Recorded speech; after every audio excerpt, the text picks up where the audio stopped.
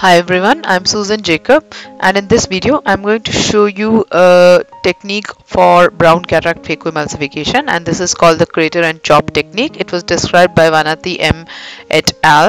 So you can see a brown cataract here and the first thing I do is uh, trypan blue staining and then I fill viscoelastic again to get a taut anterior chamber in order to be able to form a good wound. I then do a rhexis. The pupil is not widely dilated and so I take the rhexis margin under the pupil so that the rhexis uh, ends up slightly larger than the pupil size. With sufficient experience, this is possible to do by uh, tearing the capsular flap parallel to the rhexis as well as keeping the flap flat on itself and in a way that it mirrors the direction that the rhexis should take. A gentle multi-quadrant hydrodissection is then done taking care not to cause a capsular blowout. Uh, the nucleus is then rotated and once this is done I felt that I would like to have some more pupillary expansion and so I used the B hex ring designed by Suven Bhattacharjee and uh, it is very easy to insert as you can see here it's very thin and goes in through small incisions.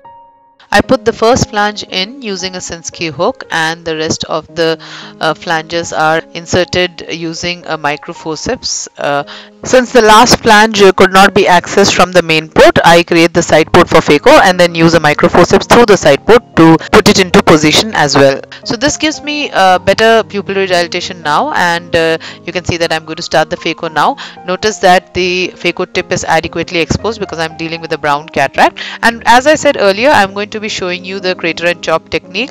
So what you do in this technique essentially is just create a crater in the center of the nucleus with high power and low vacuum and it basically debulks the core of the brown nucleus far away from the endothelium within the capsular bag. Once the uh, crater is created, it's simple to go ahead and break the remaining shell using a horizontal chop technique. So as you can see here, I use multiple horizontal chops and emulsify the fragments in the space that is created by the crater. So uh, these are two big advantages of this technique. One is that uh, since you are uh, removing a large bulk of the nucleus by creating the crater and this phaco energy is being utilized far from the endothelium, uh, there is less chances of endothelial damage. Second, the fragments are also uh, able to be uh, emulsified far away from the endothelium within the capsular bag in the space that was created by the crater. The last fragments are brought up and emulsified in a more anterior iris plane uh, in order to avoid a sudden post-occlusion surge and a PC rupture.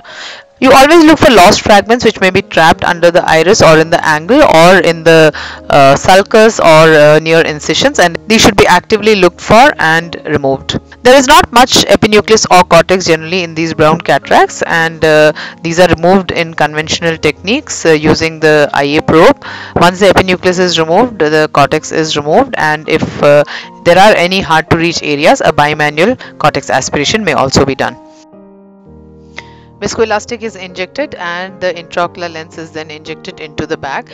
In this case, once I injected the intraocular lens, uh, I found that it was not centering well and the superior haptic seemed to be folded on itself and uh, when I tried to investigate I found that it was actually entangled on the B-hex ring so what I did is disengage the ring from the pupil and then uh, try to pull it forwards to see where exactly it was entangled and I saw that the haptic had actually got caught on the ring. Uh, it was a relatively simple matter for me to uh, free it up by uh, using a rod to lift up the B-hex ring and then just simply push the IOL haptic into the bag. I finally went ahead and removed viscoelastic and that was the end of the case. So you can see a very clear cornea on the first post-operative day and this is one of the advantages of decreasing the amount of phaco energy that the endothelium is actually exposed to. I do hope you enjoyed watching this video. This is one of the videos amongst my series of chop techniques for brown cataracts uh, which are in my YouTube channel that goes by my name Dr. Soosan Jacob.